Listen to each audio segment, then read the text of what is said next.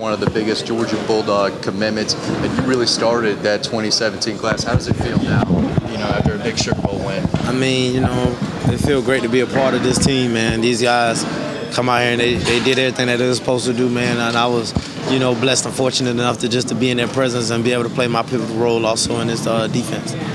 Monty said that you wanted two picks tonight. You've been saying it all week. I mean, was this kind of the game you expected tonight? Oh yeah, definitely speaking into existence, man. That's something real big on faith and things like that. So I was, you know, me and Monty was sitting in a room playing a fo- uh, football game, playing Madden.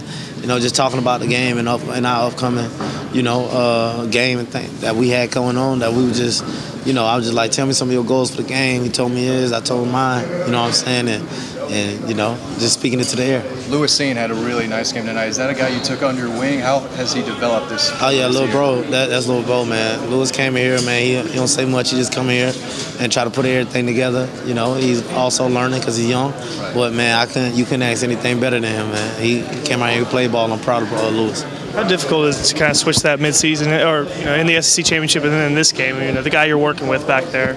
Uh, man, it's not hard, man. Communication, man, breaks down a lot of those things, and you know, uh, being able to have clear understanding of what's going on in that back end is pretty, is pretty good, man. All those guys in the room are capable of doing their our jobs. got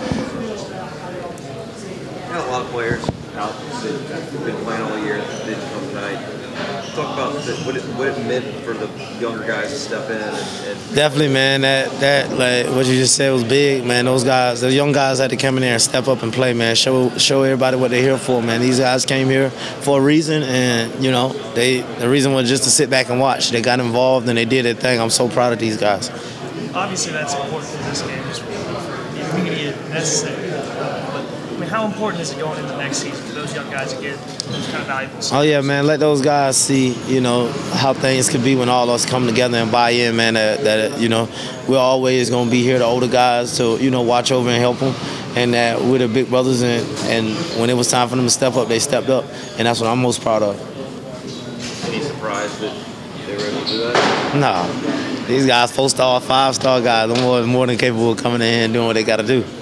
Did y'all play with a chip on your shoulder this week? I mean, you're one of the best defenses really in school history, but did y'all have that chip on your shoulder mentality coming into this week? Yeah, man, we always got a chip, man. When we come here and we, we put the ball on the ground and we play defense, that's always a mindset to, you know, dominate. And, you know, we didn't, you know, rattle ourselves or overwhelm ourselves with, with Baylor or anything like that. We came in here, we got our game plan, and we did what we had to do. Thank you.